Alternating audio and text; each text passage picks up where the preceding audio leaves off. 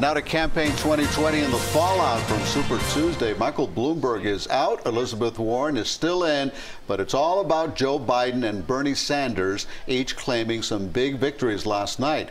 Bloomberg was quick to acknowledge this morning that he had no longer had a path to the nomination. CBS 4's Natalie Brand is at the White House with what's next for the Democrats.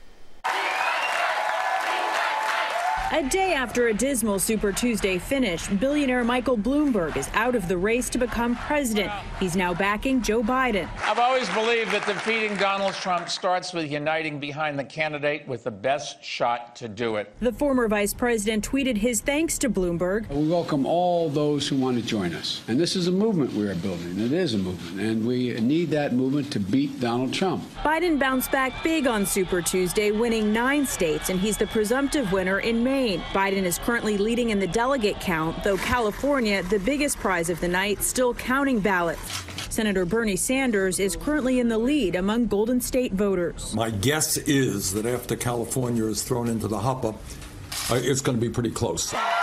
After placing third in her home state, Massachusetts Senator Elizabeth Warren's campaign says she's reassessing and will have more to say in the coming days. While primary contests across the country will continue through June, the president is looking ahead to the general election, weighing in on his Democratic challengers. One thing this whole thing has shown that you can't buy an election. It's a beautiful thing. I think Joe actually would have the advantage now. Had Elizabeth Warren endorsed Bernie, you're talking about a whole different subject. Exit polling showed electability was a top priority for Super Tuesday voters, with Democrats saying they prefer a nominee who can beat President Trump to one they agree with on major issues. Natalie Brand, CBS News, the White House.